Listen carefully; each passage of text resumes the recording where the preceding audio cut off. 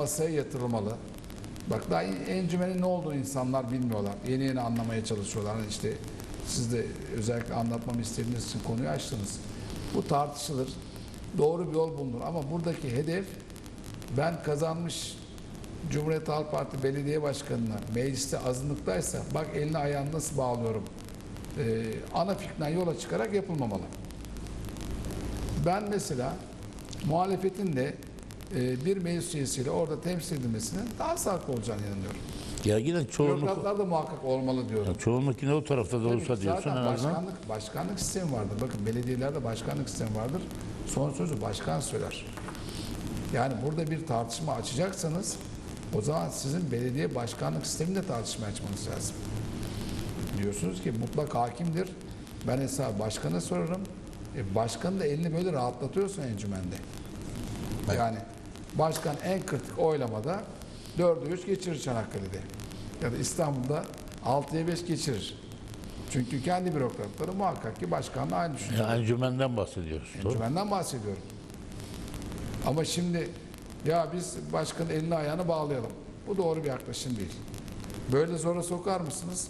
Sokarsınız. Ama sağlıklı bir sonuç alamazsınız. Hayır, zora giren başkan mı yoksa yönettiği Tabii ki. yani Tabii. İstanbul zora giriyor. Aynen. Yani siz başkanı zora sokarken e, İstanbul zora sokmuş olursunuz ya da ilgili belediyeyi zora sokmuş olursunuz. Eğer kalıcı bir şey yapmak istiyorsanız o zaman belediye başkanı yetkilerine işte mecliste ne olması gerektiğini encümene muhalefete girmeli mi girmemeli mi bunlar hazırlanır, aylarca tartışılır, insanların görüşü alınır. Hangisi o ilçenin, o ilin, o büyük şehrin e, yararına bir karar verilir. Ama yani duruma göre karar verilirse bu bence çok e, bize zarar veren bir şey olur. Yani İstanbul kaybeder bu işten. Evet. İstanbul kaybeder. Şimdi yeni şeyin Anlaşıldı herhalde değil mi? Anlatım gayet net değil mi? Net bir şekilde. İl Genel Meclisi'nin yapısı da değişti bunlarla beraber. Yani ne zaman değişti? Ee, eskiden daim encümen vardı. Şimdi daim encümen yok yanılmıyorsam. Evet. Bu daim encümen zamanında işte beş tane daim encümen yani o, bütün encümenlerin içinde beş tane de- daim encümen seçilirdi. Beş tane de bürokrat olurdu.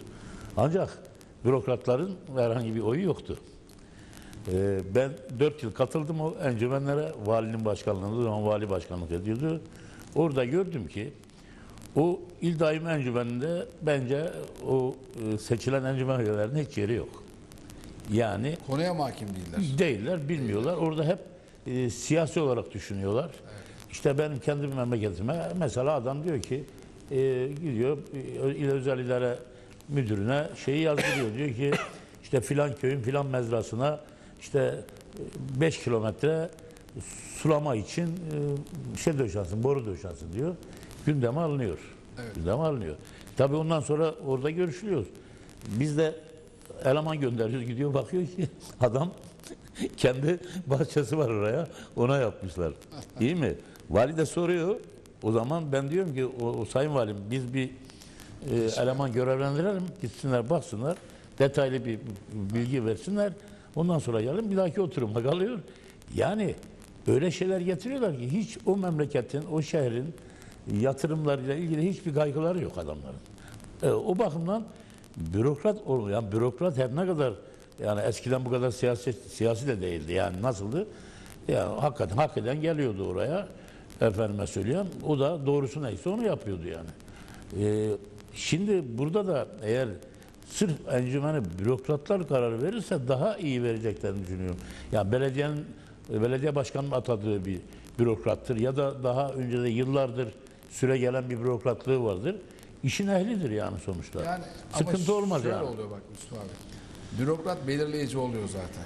Çünkü Ben- tam öyle olmalı. Ben abi. görev aldığım zaman için söylüyorum. E, bilmediğimiz konuyu biz soruyoruz. İlgili bürokrat açıklama yapıyor zaten. E, siz de onu bir mantık süzgecinden geçiriyorsunuz. Yani her şeyi bilmek mümkün değil. Bürokratın olmasına fayda var. Ama sadece bürokratlarda kalmamalı bence. E, ben bir şey söylemek istiyorum. Mesela şimdi burada e, diyorlar ki seçilmişlerin sayısını arttıracağız encümende. E seçilmişlerin sayısı zaten fazla. belediye başkanı atamayla mı geliyor? Çanakkale'de 7 tane encümen üyesi var. 4'ü seçilmiş. Belediye başkanı da seçilmiş. Yani buradan yola çıkarlarsa hata yapar. Yani seçilmiş derken o üç kişiyi beş kişi mi yapalım diyorlar. Tabii ki. Yani diyorlar ki ben şöyle söyleyeyim size. E rakam tamam da bu- anlaşılsın. Bir başkan. Üç tane Çanakkale için söyleyeyim. Üç tane bürokrat. Dört. Beş de meclis üyesi koyalım. Dokuz olsun. Yani rakamlar böyle. O zaman ne oluyor? Bir oylamada başkan ve bürokratlar azınlıkta kalacaklar. Peki İstanbul için. E tabii yani İstanbul'da ben hemen Formül 7 vereyim. Bürokrat sayısını hiç değiştirmek istemiyorsanız o 5 kalır. Siz bu tarafı 7 yaparsınız 7. Başkan ve bürokratlar 6'da kalır. çoğunluğu ele geçirmiş olsun. E yani bu iş bir şey. Peki e, böyle bir uygulama yapılırsa e, iktidarın da e, zararı olmaz mı? Yani diğer şeylerde diyelim mesela e, muhalif olan, iktidara muhalif olan belediyeler var. Orada seçilmişler var. Orada da muhaliflerin e, yani CHP'nin lehine diyelim. Ama olur. şimdi o, onlar artık burada takıntı İstanbul. İstanbul, Ana, ana, Ankara. ana şehir evet. Valla ben yani eski bir bürokrat olarak şunu söylüyorum. Hangi partiden olursanız olur, hangi partiden seçilmişseniz seçilmişsiniz. Millet size oy vermiştir. Oraya gittiğinizde o şehrin geleceğiyle ilgili, yatırımıyla ilgili hangisi doğruysa herhangi bir siyasi saplantı olmadan yapmanız lazım. Kim ben, ben şöyle söyleyeyim size. Mesela imar komisyonunda böyle bir uygulama yok. Burada sırf bürokrat mı var? Hayır. İmar komisyonunda oyunuz kadar e, imar komisyonuna Temsil sokuyorsunuz. Bunu şunu tartışmak lazım. Muhalefetin de oyu kadar encümene adamı girsin mi girmesin? Ya en azından fikrini söyler. E, Söylesin. Yani Bunlar- sonuç almasa bile evet. bakın şimdi mesela Sayın Başkan burada bir jest yapmıştı. Ben size söyleyeyim. Burada e, Ülgür Gökhan doğru da bir şey yapmıştı. E, geçen meclis döneminde kendime göre geçen diyorum. Yani 2009-2014 arasında meclis aritmatiği şuydu. 13 Cumhuriyet Halk Partisi, 8 e, Adalet ve Kalkınma Partisi, 4 de Milliyetçi Hareket Partisi.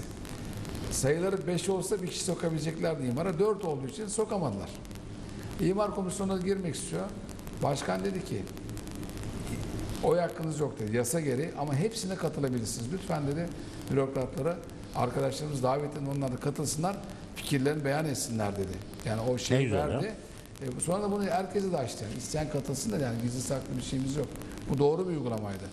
Yani bu uygulama encümende belki olabilir ama sayılarla oynayarak olmamalı. Yani siz e, burada stratejinizi başkanın elini ayağını bağlı bir şekilde getirirseniz ya bu kadar karmaşık iş var, bu kadar çok şey var, e, kalem e, üretim var, para var, personel var. İşin içinden çıkamazlar. Yani bürokratla, bürokratla işte meclis üyesiyle işi çıkılmaz hale getirmeyeceksiniz. Yani zaten siz oraya getirdiğiniz kadrolara güvenmiyorsanız o zaman hiç onlara şey vermeyin. Yaşam hakkı vermeyin. Şimdi bu seçimlerden sonra karşımıza gelen bir durum bu. Bir başka durum da e, yeni seçilen belediye başkanlarının bir önceki belediyeleri e, halka Borç. ifşa ederek e, borçları e, şova dönüşen hareketler yapmaları ki e, bugün gördük Sayın e, Başkanımız Ülgür Gökhan da bu durumdan muzdarip olmuş. Çünkü Giresun Belediye Başkanı e, Ülgür Gökhan'ın yeğeni ATM memurluğu yapıyor burada demiş bir açıklaması var. E, Ülgür Başkanı da bunu ispat etmezse hakkımı helal etmem gibi bir Acaba açıklaması var. soyadından dolayı soyadını tutmuş. Nasıl olmuş? Yani Efendim, Başkan uzak- açıklama yaptı. Uzaktan yakın Ya. alakası yok. Yıllardır görmediğiniz uzaktan bir hısım bile olabilir. Olabilir ya değil. bir zararı ne, ne zararı o var da ki? yok diyor. O da yok diyor. O da yani, yok diyor. Olsa bile siz hangi akrabanızı nasıl kontrol ediyorsunuz? Yani o zaman ortaya bir belge koyması lazım. Demesi lazım ki arkadaş geçen başkan bak senin şu telefonunla şu imzalı mektubunla rica etmiş. Biz bu adamı işe almışız. Adam İşe işe, de gelmiyor. gelmiyor. Ortaya belgesini koy ya. Herkesin yüzlerce ısım akrabası var. Ya Hangi tabii yani şimdi- Kaldı ki yok diyor. Kaldı Şimdi- yok diyor yani. Bizim köyde miraslar vardı işte. Çok büyük rakam tuttu. Millete söylediğimde o akraba köşe sayısı- 170 kişi çıktı yani iktidar. Şimdi ben 170 kişinin içinde kim benim akrabamdır? Yani çoğunu da tanımıyorum, bilmiyorum çünkü çoğaldılar. Ama yani eğer ki Ülgür Gökhan'ın da dahil bir akrabası var da filan belediyede çalışıyorsa e, işe de girmiş de olabilir yani bu gayet doğal. E, ATM memuruysa onu da sen ispat et. Evet, yani at yani. isterse kimin e, yeğeni olursa olsun yani öyle mi ya? Yani bu iş, bu şov işi başta da söylemiştik geçen programlarda. Yani ben bunu yadırgıyorum. Ee, bu- bugün bir haber okudum. Tam e, İçişleri Bakanlığı da bunu teyit etmiş. Ee, doğru mu yanlış mı hala tereddütteyim çünkü hep algı operasyonları yapılıyor. Ee, Tunceli'nin yeni belediye başkanı orada daha önce kayyum zamanında açılan tekstil atölyesinin suyunu kesmiş, elektriğini kesmiş, bilmem neyini kesmiş. E, kesmiş de. Kayyum yaptı diye. Yani böyle olmamalı bu ya arkadaş ya. Yani ben dört kere beş kere yer değiştirdim. Gittiğim yerde benden önceki yönetimi kötüleyen adamlara iyi gözden bakmadım ya. Ya sen niye kötülüyorsun bana ge- geçmiş Doğru adamı? işe sahip çıkacaksın. Yani, yani geçmiş yönetimi niye kötülüyorsun? Yani yanlış yapılan bir şey varsa düzelt onu ama böyle çıkıp da onun elektriğini kes, bunun suyunu kes. Yok bu kadar borcu var. Bu, borç yiğidin kamusıdır arkadaşlar. Borç eğer ki usulsüz bir şekilde borçlanılmışsa ya da legal olmayan yerlere gitmişse onu çıkarın, onu ifşa edin, mahkemeye verin yani. Ama şimdi adam şimdi e, İller Bankası'ndan borç almış da ishale hattı yaptırmış. Ya sen ne yaptırmışsa yaptırmış. Her şey ortada. E, onu da taksit taksit ediyor. Sen çıktı çık de ki ya bu adamın 60 trilyon borcu var ya. E olacak tabii ki. Ya sen de yapacaksın yarın. Yarın bunu diyenlerin, afiş asanların önüne bunlar gelecek yani bak. Sen de yap. sene sonra acaba nereye gitti bu rakam? Ya şimdi ben şimdi e, hep anlatıyorum. Diyorum ki ben işte müdür yardımcısıyken ya müdür işte şey geliyor, jandarma geliyor, polis geliyor, emniyet müdürü geliyor, savcı geliyor. Ya onlara bir itibar gösteriyor. O zaman daha gençim. Ya niye böyle yapıyor diyorum. Ben yapmam. Ve e, o müdürü işte yaptığı yüz hareketin 90'ını kınıyordum. Ben müdür oldum. Ben o yüzde yüzünü yapmaya başladım. Niye? Orada şartlar başka.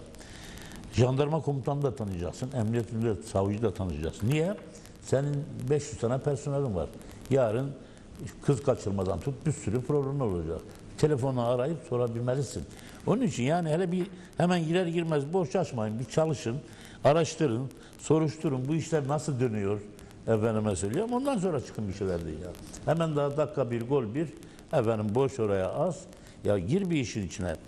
Şimdi bir ay, iki ay gözleyin. Yani bakın neler oluyor, kim ne yapıyor, ne yapılmış. Ondan sonra çıkın açıklayın. Daha birinci gün sen oraya afiş as, Şeyi de kapıyı kır. konuşuyoruz. Yani belediyecilik hizmet midir yoksa e, kar amacı mı gütmelidir? Yani para mı kazanacak? E, Tabii ki belediye? daha Bir önce onu de konuşmak söyledik. lazım Yani. Mesela geçen seneler bizim programlarda Özgürlük Parkı'ndaki işte bugün de yine mevzu Özgürlük Parkı'ndaki ya da işte aşağıda Rodos'taki çaydan dolayı belediyenin zarar ettiği. Ya zarar edecek tabii. Yani millet oraya gidip 75 kuruşa çay içiyordu, 50 kuruşa çay içiyordu. Kim içiyor? Bu vatandaş içiyor. Bunun zararını niye hesap ediyorsun ki sen? Şimdi yukarıda bir buçuk lira olmuş. E, vatandaş diyor ki 1 lira olsun. Olur tabii yani belediyenin e, amaçlarından biri de halka hizmet etmek. Yani bunun karına zararına bakılmaz ki. Daha önce üniversitede hastane konusu oldu. Üniversite hastanesi şu kadar zarar ediyor. Ya hastane bu ya. Sağlık hizmeti getiriyor. Zarar edecek tabii ki yani. E milli eğitim. Şimdi git milli eğitim zarar ediyor. 10 bin tane personel var. Yani edecek tabii o. Hizmet götürüyor sonuçta yani. Yani bu belediye başkanlarının, yeni belediye başkanlarının bence görmemişim bir oğlu olmuş, bilmem ne yapmıştı. Ona benziyor resmen ya. Evet. evet. Şimdi. Şimdi neye göre yapıyorlar bunları? Faaliyet raporlarına göre yapıyorlar değil mi? Şimdi bütün belediyeler ben burada bir eksik var. Aslında bir eleştiri yapayım. Yani e, bütün partileri eleştiriyorum ben burada şimdi. Bu faaliyet raporları her sene açıklanıyor. Nisan ayında. Ne açıklanıyor? Bir sene önce başkan ne yapmış? Mesela bizde şöyle oluyor.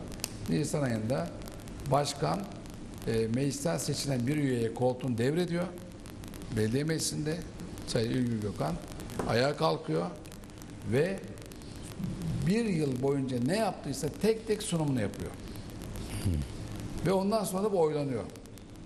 Tabii oylama şöyle. 4-3 e, olumsuz oy çıkarsa Ya ibret edilmiş gibi oluyor. İbra ediyor. Ama burada oranlar daha farklıdır.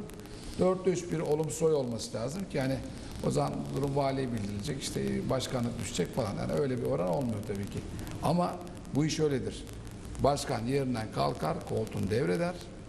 ve bir yıl boyunca ne yaptığını anlatır. Bunlar anlatılmadan önce bu faaliyet raporu hazırlanır. Bütün meclis üyelerine, iktidar ve muhalefet, bak burası çok önemli. Bu raporlar tek tek gönderilir. E merak eden okusun. Ve on, daha doğrusu merak eden değil. O mecliste bulunan herkes bunu İşler o. okuyarak oylamak zorunda. Evet. Efendim bu şimdi her sene oluyor. Ben şimdi burada şunu söylemek istiyorum. Şimdi o parti kazandı, bu parti kazandı. Herkes tabii ki e, bu raporları açıklıyor. E, 2017'yi niye açıklamıyorsunuz? Nereninkini?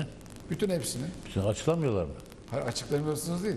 Ya kardeşim şimdi ne zaman seçimler yapıldı? 2014'te yapıldı değil mi? İlk başkan 2014'te görev aldı. 2015 Nisan ayında da Yapıldı. başkan diyor ki ben geçen sene bunları yaptım diye. faaliyet 2016'da da yapılıyor. O zaman de ki ya bak yani burada bir eleştiri getiriyorum ben. Bütün muhalefete. O dönem muhalefette olanlara iktidar kendi yanlışını göstermez. Sen göster. Yani mesela vakıflara 847 milyon lira bağış yapılmış 2018 yılında. 2017'de kaç ne yapıldı? Evet. E bana versinler 2017'nin faaliyet raporunu ben okuyayım.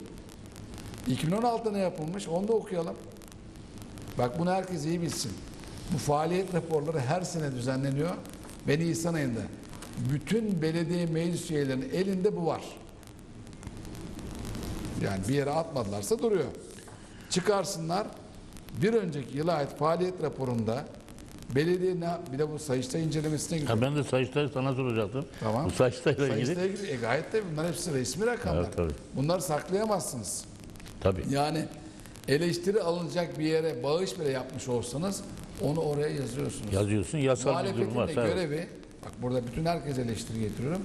Muhalefetin de görevi neyi eleştiriyorsan o faaliyet raporu okunuyor ya. Başkan da orada faaliyetlerini savunuyor.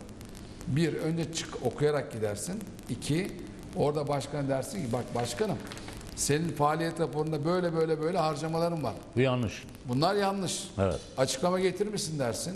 Başkan da kendi göre bir açıklama getirir. Tatmin olursun ya da olmaz. Olursun veya olmazsın. Oylamada başkan aklanır veya aklanmaz. Ama sen itirazlarını parti olarak bir e, liste haline getirirsin. Bunu ilgili yerlerle paylaşırsın. Yani bu sadece seçim zamanlarında yapılmaz.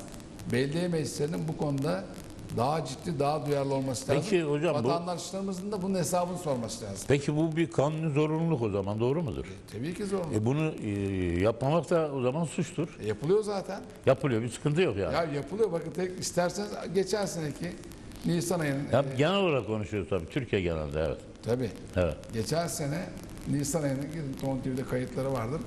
Açın kim ne eleştiri getirmiş. Şimdi herkes konuşuyor ama bak şimdi herkes konuşuyor seçim zamanı geldiği zaman. Çanakkale Belediyesi'nde veya herhangi bir belediyede tabii yayın olursa ancak anlayabiliriz kaydı varsa çıkalım bakalım muhalefet ne demiş. Yani insanlar eleştirilerini şöyle bir liste haline getirip bir kitapçık haline getirip de ciddi bir şekilde bunları basınla paylaşmaz, kamuoyuna paylaşmaz mı? Seçim zamanı herkes bir şeyleri paylaşıyor. Bu çok yanlış.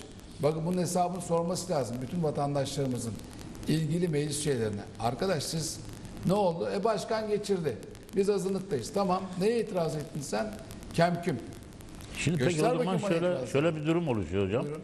Şimdi 31 Mart'ta seçim oldu. oldu. Evet. 2018 yılında belediyenin daha doğrusu başkanın icraatlarını Nisan ayında eski başkanın Onlar orada okunuyor.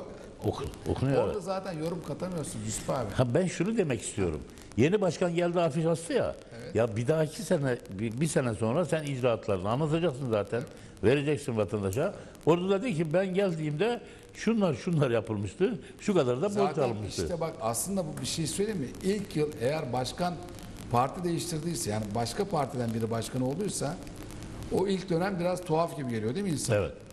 Ama aslına bakarsanız o belediye başkanının daha sonra yapacağı bütün eleştiriler için Sayıştay denetiminden geçmiş kapı gibi belge. Evet. Kapı gibi belge her şey yazıyor orada. Yani şimdi Sayın Ekrem İmamoğlu diyor ki bunlar böyle böyle olmuş. Yerden göğe kadar haklı. Ve bu belge Sayıştay raporundan geçmiş. Ben diyorum ki örneğin İstanbul için söylüyorum. Ya kardeşim bunun 2016'sını, 2017'sini, 2015'ini neden kamuoyuyla daha ciddi bir şekilde paylaşmadınız? Veya şimdi burada başkanı eleştiri getiriyorlar seçim zamanı. E neredeydiniz siz daha önceki faaliyet raporlarında? Hangi böyle çok oturaklı, mantıklı eleştirileriniz vardı kamuoyuyla paylaştınız? Yok. Veya başka belediyelerde. ya bu her sene olmalı. Şimdi her sene olmayınca o olmalı da Evet. yani herhangi bir belediye bunu yapmıyorsa yaptırımı nedir? Hayır yapıyor. Yap, yapmayan yok yani. yapmayan yok. Ha, evet. Mümkün değil. Yani yasa gereği yapıyor. Evet. Hani benim canım istedi ben yapmayayım diyemezsiniz. E tamam. Orada da her şey gün gibi aşikar ortaya çıkıyor. Üstelik bakın tekrar söylüyorum. Nisan ayındaki oylamadan önce başkanın sunacağı faaliyet raporunda ne yapılmış, kaça yapılmış bunların kitapçığı e, hem mail yoluyla gönderiliyor hem de ellerine böyle baskılı veriliyor. Siz sadece okuyacaksınız. Olarak. Aslında özet olarak şunu diyorsunuz. Ya bu afişleri niye astınız kardeşim? Bir sene önce de vardı bu durum.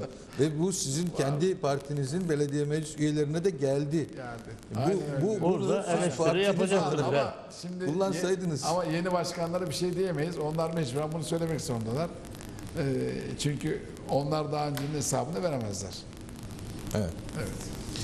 Peki e, Sayın Eroğlu şu e, sizin özel istediğiniz aslında bu konuyu e, cami önlerindeki Evet. dilencilerdeki bir artış var söz konusu. Evet bugün hep zaten dikkatimi çekiyor. Ben e, müftiye söyledim. E, köşe yazılarımda yazdım. Hatta kadrolu dilenciler var. Ya kadrolu, kadrolu. Niye? Mesela beş vakit namaz mı var diyelim. Beş vakit namazda aynı dilenciler var. Üç tane. Bugün 9 ya da 10 yaşında bir çocuk. Cuma namazından çıktık. 9 ya da 10 yaşında bir çocuk ya. Açmış eline böyle bir şey para topluyor. Herkes de diyor ki oğlum ne yapıyorsun sen ya?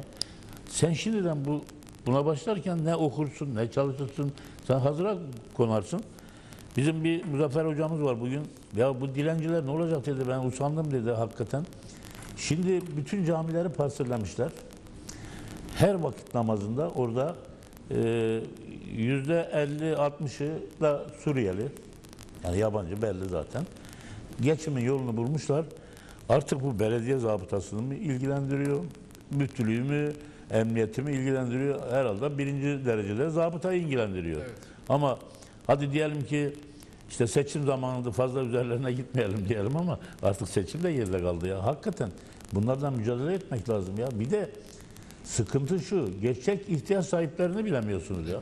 Bilemiyorsunuz onlar arada kaynıyor. Belki onlar Çıkmıyor yardım bile alamıyorlar. Alam, alam ya evet yani bu yüzden bu hakikaten bu dilencilere bir tedbir çare bulmak lazım. Çok da zor değil. Şimdi bunlar herhalde gidip Barbaros'taki camide dilenmiyorlar ya da işte ta Esenler'in bilmem neresinde ya ya Çavuş Camisi'nde dilenmiyorlar. Bunlar genelde ya e, şeyde e, yukarıdaki Şehitler Camisi'nde ya Tıflı'da ya Kurşun'da ya Yalı Camisi'nde dinleniyorlar. Yani yoğunluk olan yerlerde dinleniyor. Oraya namaz vakitleri birer tane zabıta bir tur attırsanız, 3-5 kişiyle toplasanız problem kalmayacak yani. Mücadele etmek lazım bunlardan. Yani burada aslında içinden gene çekeceğim ben bir kelimeyi Suriyeliler dediniz ya. İşte geçen hafta biliyorsunuz e, İstanbul'da Küçükçekmece'de çok üzücü bir olay yaşadık. İşte 4 yaşında bir kız çocuğu Maalesef. e, tecavüze uğradı ve bir Suriyeli çıktı e, tecavüzcüsü. E, burada işte Anzak törenleri için DAEŞ'in saldırı yapacağı ihbarı geldi.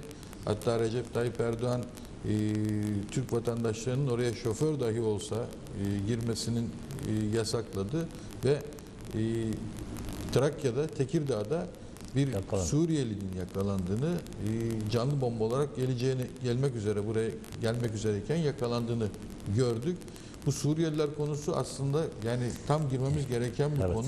Kangren. Şu anda Cumhuriyet Meydanı'nda da aynı durum var. 1 lira var mı ağabey diyorlar. İneği 1 liraya düşmüşler. 5 liram var mı diyenler var. Hayır, 1 lirayı alıp almaması önemli değil. İnsanın cebini kontrol etmiş olurlar. He, Problem yaratıyorlar, peşine düşüyorlar. E, ciddi bir durum var. Suriyeliler konusunu e, kesin işlememiz lazım. E, Sayın Karakaş bu konuda siz ne düşünüyorsunuz? Özellikle dilencilik, Suriyeliler Yani Suriyeliler hep söylüyorum e, Suriyeli düşman değilim. Tamam. E, darda kalanlara yardım edelim ama yani haddini aştı artık. İşin bokunu çıkarmasınlar yani. Çıkardılar Haddini zaten. aştı Suriyeliler. Aynen. Evet yani misafir e, misafirliğini bilmeli. Ya Bakın bizden hala devlet onlara e, pozitif ayrımcılık yapıyor. Bakın sigortası Suriye çalıştıranlara kimse dokunmuyor. Dokunmuyor. Kimse dokunmuyor. Buradan ilan ediyorum. Herkes sigortasız Suriye çalıştırıyor ama Suriyeli'de bulaşmıyorlar. Sıkıyorsa sigortası bir Türk çalıştırın bakalım. bir gün bile çalıştıramaz. Bak ne oluyor? Ya bunu onlar da biliyorlar. Herkes de neyi biliyorlar? Ama mafyalaşmaya başladılar artık. Bakın bunların bu dilencilerin tamamı profesyonel çalışıyorlar. Mafya gibi. Parsellediler. Muhtemelen orada çalıştıkları insanların da hasılatların yarısına el koyuyorlar. Doğrudur. Yani profesyonelleşme böyle oluyor. Zaten e, Seni alıyor bir yere oturtturuyor. Diyor ki "A- al Evet. şu kadarını ben alacağım. minibüsten getirip dışarıdan dağıtıyorlar ya. Evet, Ben- evet, çoğu evet. yerde öyle yani. Ya bunların üzerine gitmek lazım. Bakın yani bu hoşgörü artık hoşgörü olmaktan çıktı zafiyete geldi, dönüştü. Vallahi Bence gitgide bir an önce, bir an önce şu sigortasız Suriyeli çalıştırma şeyinden e, işinden çıkmamız lazım artık. Şimdi herhalde Amerika Birleşik Devletleri ile güvenlikli alanla ilgili bir çalışma var. İşte o güvenlikli alan yapsınlar. Bu arkadaşlarımı da götürüp orada baksınlar. Yani biz paradan puldan vazgeçtik de ya bir güvenlik tehlikemiz kalmasın burada en azından yani. Yoksa yine para gitsin orada versinler yedirsinler gitsinler ama içeriye sokmasınlar ya. Yani ya da askere alsınlar bunlar.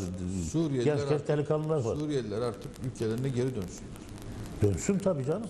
Yani Ya bakın efendim şimdi işsizlik e, çok fazla diyoruz. E, işsizimiz artıyor. E, soruyorum ben şimdi tarımda veya sağda solda şimdi yerini söylemeyelim. Abi 20 lira daha ucuz diyor. 30 lira daha ucuz. Benim için önemli diyor işveren. İşverene kızamazsın. Bir de diyor devletle yakama yapışmıyor diyor. E, sigortadan diyor. Benim karım neredeyse yarı yarıya. pazara gidin. Böyle ya. olmaz. Pazar- Devlet sigortalı insan çalıştıracak. Her, her pazarcının yanında, Cuma pazarına gidin. Her pazarcının yanında ya bir Suriyeli ya bir Afganlı biri var. Çanak işte adres gösteriyoruz. Evet Bravo, evet resmen yani. Üstelik mesela geçen ben elma alıyordum. Hep tanıdığım bir yerden elma alıyordum. Ee, oraya bir Suriyeli mi artık Afgan mı ne dikmiş. Bir kadıncağız da elma alıyor. Nasıl tartıyor biliyor musun? Alıyor ve ya oğlum altın tartmıyorsun dedim. Bilmiyor ki adam. O tam denk getirecek yani. Ya da işte gramı gramına denk. Ya bırak biraz fazla olsun. Ama gidin bakın bak ne söylüyorum. Buradan duyanlar da gitsinler. Pazarda 500 esnaf varsa 300'ünün yanında yabancı var çalıştırıyor. E ondan sonra biz diyoruz işsizlik var. Efendime söyleyeyim. Ya zaten bunlar olmasa demek ki bizim adamları çalıştıracaklar. 3 kuruş fazla, 5 kuruş fazla neyse yani. Sonunda işsizliğe bir çare olacak yani. Elbette olacak. Ya. Ya yeter artık yani. yani. Uyumadı çünkü. Ya bu kadar get bakın biraz daha bunlar kalırlarsa çünkü çocukları eğitime burada başladılar. Okullarını bitirsin noktaya gelecek bu işler. Ve bu biz en az 2 milyon Suriyeli ile ömür boyu yaşayacağız. ne yazık ki yaşayacağız. Ee, Bir taraftan onlarla yaşarken ülkemizin geleceğini de tehlikeye atıyoruz.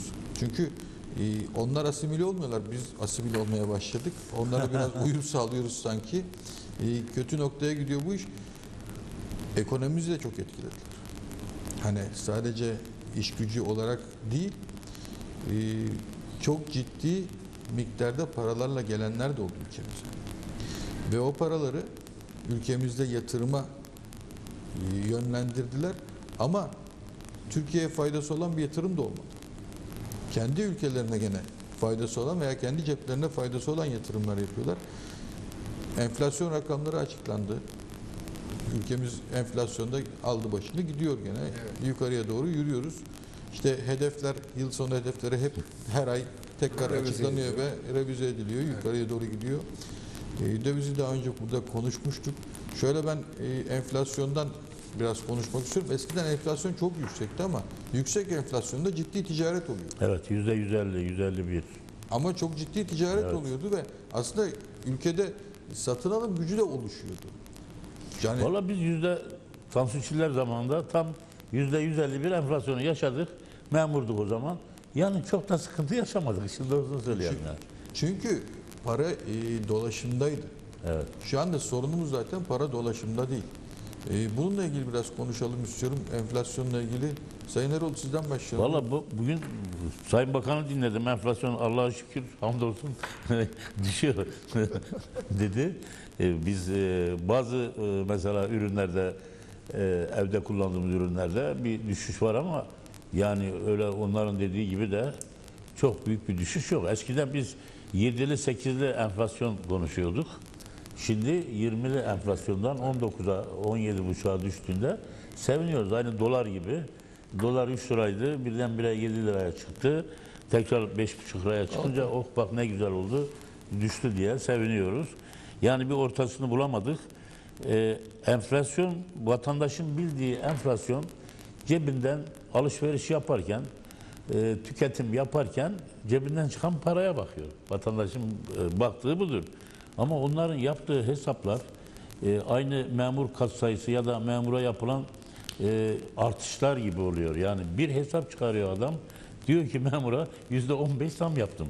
Ya bir bakıyorsun yüzde sekiz yapmış. Onu hesap ediyor. Bunu gönderiyor. Bunu şey diyor bak yüzde on beş diyor. Şimdi bu enflasyon da öyle. Bizim aklımız almıyor.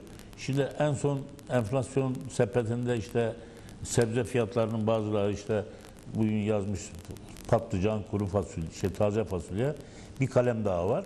Onlar yüzde 40-45 civarında gerilemişler. O da enflasyonu herhalde 1.65 bine civarında düştü diyor. Ama ben bu istatistik rakamlar daha önce açıklanan diğer istatistik konularda olduğu gibi bu enflasyon rakamının da doğru olduğunu zannetmiyorum. Ee, enflasyon, vatandaş kendi enflasyonu hissedecek. Hakikaten diyecek ki ya yaşam kalitemiz yükseldi, standartlarımız yükseldi, geçinebiliyoruz aldığımız parayla ki siz bugün yazmıştınız herhalde yazınızda 6 bin kaç lira e, lazım bir ailenin geçimi için. E, 2020 lira şey veriyorsun, asgari ücret veriyorsun. Yani ben enflasyonu böyle görüyorum. Enflasyon e, 4 nüfuslu bir ailenin çok rahat işte geçinebileceği bir para olur. Piyasadan rahatlıkla alışveriş yapabilirse enflasyon düştü deriz. Ama enflasyon sepetine işte pimpon topunu bilmem pet şeyini bilmem neyini koyarsanız bu enflasyon Yanıltırsınız. gerçek enflasyon olmaz. Sayın Karakaş enflasyonla Enflasyon ilgili. Yüzde yirmi. Biz tek e, haneli rakamları göremeyeceğiz herhalde uzun bir süre. Çünkü bu ekonomik göstergeler e, bizi bir 4-5 sene daha e, bu şeyden çukurdan çıkarmaya yetmeyecek. Böyle Evet. görünüyor. Bunun temel sebebi şu aslında. e, sadece üretim odaklı bir ekonomimiz olmamasından kaynaklanmıyor. Bizde en önemli şey, bizim ülkemizin en büyük sıkıntısı belirsizlik olması. Bakın şimdi işte dolar arttı azaldı hikayesi falan var ya.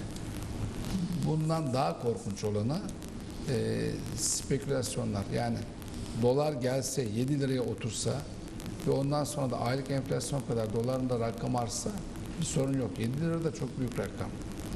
Ama bir belirsizlik ortadan kalkmış olur. Peki neden belirsizlik var? E bakıyorsunuz S-400 konusu çözülmemiş. F-35 konusu çözülmemiş. Değil mi? E, İmamoğlu'nun e, kazandığı seçimle ilgili her hafta süreyi uzatıyorlar. Mazbatı alacağız mı almayacağız mı anketler yapılıyor. İşte gazetelerde çıkıyor deniyor ki 5 üye verecek, 5 üye olumlu, 5 üye olumsuz işte başkan ortada falan. Böyle sürekli sürekli şey var. Gündem. Bilgi, bilgi kirliliği var ve gündem var. E şimdi burada bu e, faizlerin yüksek olması, enflasyonun yüksek olması bunlardan daha önemlisi bu belirsizlik. Şimdi şöyle bir yorum var mesela diyorlar ki efendim seçimler iptal olursa işte dolar 8 olur. Belki de olmaz. Belki de daha fazla olur. Bak hep bunlar şey. Uzmanlar bile bu konuda ortak bir şey veremiyorlar. Neden? İşte İstanbul seçimlerinin sonucu belirsiz.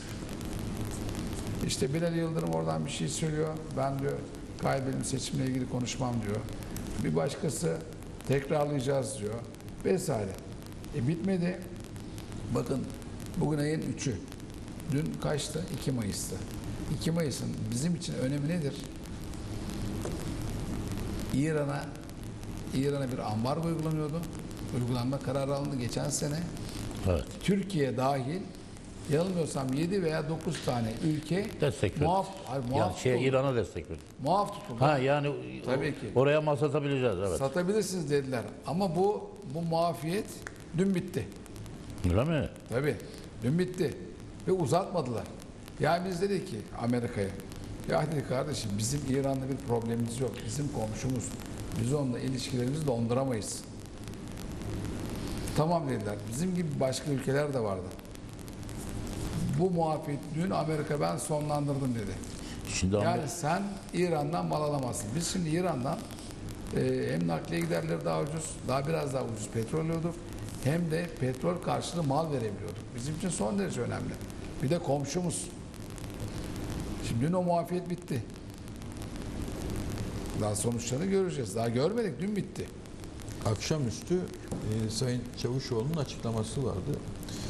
E, S-400 konusunda Rusya ile kesin olarak anlaştık. İmzaları attığımızda göreceksiniz dedi. E, S-400 ile F-35'leri kıyaslamayın. İsterseniz de kıyaslayın dedi. Bu akşamüstü. Pres çekti yani. Res çekmiş olduk. şimdi Ben Am- şey Amerika kafayı Amerika şu anda Venezuela ile ilgilen, Venezuela ile ilgilendiği için Tabii. Yok, Sıkıntı yok, var. onlar- Onların şey departmanı geniş her tarafa yetiyorlar. Mesela biz Venezuela ile de bir ilişkimiz vardı. Biz onlardan altın alıyorduk. işleyip altınlarını geri veriyorduk. O da 29 Nisan'da son buldu. Bunu artık yapamazsınız dediler. Yani Venezuela ile ticaretinize ben karışıyorum dedi. Şimdi biz tabii ki Maduro'yu destekliyoruz. Amerika muhalif lideri destekliyor. Ee, Maduro da bir diktatör. Ama seçimle geldim diyor. sonuçta Orada da bir örnek verelim. Hani bu seçimlerin boykotuyla ilgili görüş beyan eden insanlara söyleyeyim ben. Ee, rakamlar 3 aşağı 5 yukarı dediğim gibi geçen sene seçim yaptı Maduro. Muhalefet boykot etti. %30 küsür bir katılım vardı. Katılanların da %65'ini aldı. Yani toplam seçmen sayısının %20'siyle Maduro başkan oldu. Şimdi teorik olarak haklı mı? Haklı, Haklı girseniz tabii ya. kardeşim seçime diyor. evet. Yani bunu kimse unutmasın. Ya adam Özellikle, özellikle söylüyorum. yani şimdi bizim derdimiz şudur.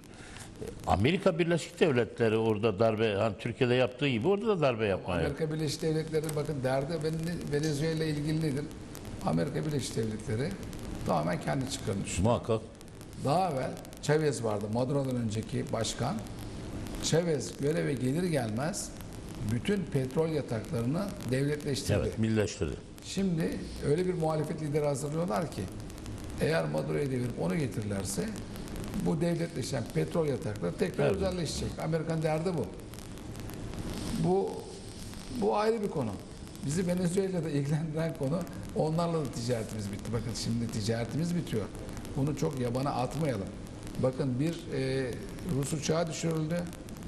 O dönemin başbakanı Davutoğlu emri ben verdim dedi. Arkadan Ruslarla olan turizmimiz bitti. Rusya'daki inşaat şirketlerinin eli ayağı bağlandı. Ve Rusya'ya domates satamadık. Tekrar düzeltmek için Ruslarla ne kadar sıkı diyaloglar kurulmak zorunda kalındı. Değil mi? Şimdi bak turizmcinin yüzü gülüyor. Çünkü Antalya Rus kaynıyor. Ee, işte yine Mersin'deki, Antalya'daki sebze meyve üreticisinin yüzü gülüyor. İhracat yapıyoruz. Oradaki iş adamlarımız çok mutlular. Tekrar inşaata başladılar. Evet. Yani kavga bize bir şey getirmiyor. Şimdi tabii ki Rusya ile iyi olmak zorundayız ama yani iki ülkeye de e, eşit mesafede durmayı bu ortamda sağlamak çok zor. Yani F-35 işi o da bize e, ekonomik fatura olarak yansıyacak. Yani en sonunda res çekmek gerekecekse res 40, 40 çekilecek. satır mı 40 katır mı diyor adam. Biraz yani. çok Evet. çok zor bir durum. Evet. Eğer F, F- çünkü bakın bir çalışma Cumhurbaşkanımız bir çalışma grubu oluşturalım dedi. S-400 ve F-30 e, F-35'lerle ilgili Amerika bunu kabul etmedi. Yani ben bu konuyu tartışmayı dahi gerekli görmüyorum dedi. Dolayısıyla yani buradan hani nereden buraya geldik? Ekonomi enflasyon.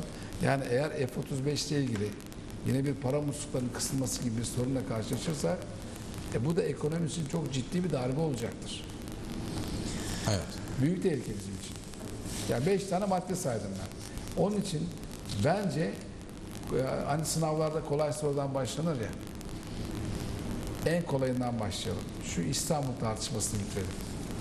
Bizim Neyse bir sadece- dahaki, bir dahaki hafta İstanbul'u konuşuruz herhalde. Yok yok. 6 Mayıs'ta Ben- açıklanacak Bizim için söylemiyorum yani. E, yani netleşir demek istedim. Ülkenin gündeminden düşürelim. Ülkenin gündemi bak şimdi İstanbul Belediye Başkanlığı çok önemli bir yer ama önemin 10 katı fazla tartışıyoruz. Yani Türkiye gündemin önüne geçmemeli İstanbul Büyükşehir Belediye. Bence de yani. bütün- Geçmemeli. Biz bütün- bak 5 tane madde saydık. Hiç olmazsa şu bu maddeleri bir dörde indirelim. Evet. Ve şey olsun bak bu da işte o zaman bir gerçekten bir ulusal konsens sağlama adına çok ciddi bir adımdır. Yani bu iş bitmeli. Başkan gidip e, Büyükşehir Belediye Başkanı Sayın İmamoğlu Cumhurbaşkanı'na gidip e, diyalog kurmalı ve yeni bir sayfa açılmalı artık. Yani gerginlikten uzak bizim önceliğimiz İstanbul'dur, bizim önceliğimiz Türkiye'dir diye yeni bir sayfa açalım. Bak bu sorunun cevabı tamamen bizde. Ama S-400 bizde değil. F-35 bizde, değil. İran bizde değil, Venezuela bizde değil. Ama yüzde yüzü Türk malı bir sorunumuz var. O sorunu biz çözebiliriz. Kucağımızda oldu. Evet. Doğru oldu? Bu soğan meselesine mi gelseydik hocam? Bugün ben okudum. Mersin'deki bir üretici yeri ürün patates şeyini soğanını kaç kamyonsa çıkarmış hemen öyle parakende 2 liraya satmış. Şimdi bu soğan da hala şimdi pazarda 7-8 lira fiyat çekiyorlar. Ee, ne yazık ki öyle. Ee, süremiz aslında bitti ama çok kısa ondan da bahsedeyim. Ee, Adana'da soğan şu anda tarlada 70 kuruşa kadar alınabiliyor. Ee, kalitesine, başına göre yani ir- ir- iri soğan, küçük soğanına göre 2 liraya kadar da gidiyor. Dediğiniz gibi yol kenarlarına çok koyarlar. İşte e, Tarsus, Mersin, e, Adana civarlarında yoldan geçenler çuvalla alırlar soğanlarını. Orada bile 2 lira. Yani arabanızın bagajına bir tane koyarsınız işte soğanınızı. O, o halde bile 2 lira. Çanakkale'de toptan fiyatı bunun şu anda 3 lira. Ama dediğiniz gibi e, marketlere bakıyorsunuz. Ya pazara pazarda da 7-8 lira fiyat var. Şimdi ne yazık ki e, bu düşüş anlarını fırsata çevirirler genelde esnaflar. Halk çünkü alışmıştır belli bir fiyata. Aynen. 2 2 3 parti o fiyattan devam ederseniz çok ciddi bir kar elde edersiniz. Şimdi Hatay'da 20 Fırsata bin dönüyor. dekarda üretim olmuş yeni. Evet. Üretici diyor ki ben tarlada 1 liraya 1,5 liraya satıyorum diyor. Gel al diyor. 1,5 liraya. Ben bir soru sorayım. Buradan herhangi bir vatandaş bir gidip bir kamyon ürünü oradan tarladan alıp gelebilir mi? Gelebilir. Mevzuat Burada uygun. satabilir mi? Satar. Uygun mevzuat. Ya bir kenara çeker satar arada. Belediye karışık mı buna? Hale Bir sokmadan. hale sokmadan satamaz. Ee, bir kenara çekip onu da satamaz. O Gayri resmi. Satamaz. Gayri, gayri resmi Çok satarsın. satıyorlar, ha. Yani satılır. Ama gider getirir buraya değil mi? Gider getirir. Peki hocam karpuz satanlar nasıl satıyor? Dolanıyorlar traktörlerle. Onun gibi olabilir yani. Yani kayıp kaçak ekonomi diyoruz ya. Evet. Çok fazla zaten özellikle üretim bölgelerinde çok oluyor. Yazın Çanakkale'mizde bu sürekli e, olan bir durum. Dediğiniz gibi karpuz konusu özellikle. Bu, bu ülkemizde engellenemeyecek bir durum. Ben engellenebileceğini hiç düşünmüyorum. Yani aslında belediyelerin bu işe el atmasıyla ilgili bir çalışma vardı. Biliyorsunuz seçimden önce de yapıldı. Yani belediyeler bunu yapabilir diye. Belediye, herhalde yeni halk kanununda belki belediyelerle de ilgili ya da kooperatiflerle ilgili de Yeni bir hal yer. kanunu daha piyasada yok. Görmedik Evet. onu. Yok, yine dün şeye sümen altıydı herhalde. çok çok değişik duruyor içeri. İçeriği göreceğiz onu da çıkacak olursa. E, süremizi doldurduk. Bizden bu haftalık bu kadar diyoruz. Haftaya görüşmek dileğiyle. İyi akşamlar. Evet.